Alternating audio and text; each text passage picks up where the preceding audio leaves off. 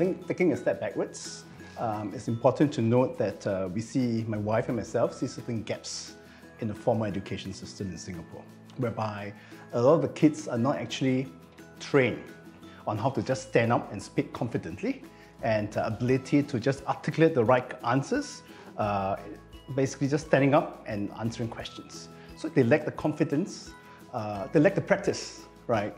And hence we say, hey, there's a huge gap. So we started looking out for schools that are able to fill this gap.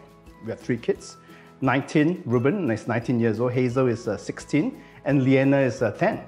I think collectively, close to 30 years. The reasons what make me select, uh, make us select uh, Lorna I think importantly is the curriculum.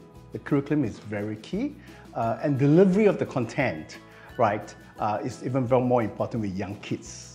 Ruben, the day just came back. Ruben is in uh, second year Polytechnic. He's in marketing stream, and he came back and said, "Dad, thank you for putting me through the speech and drama course in Lorna Whiston." I said, "Why?"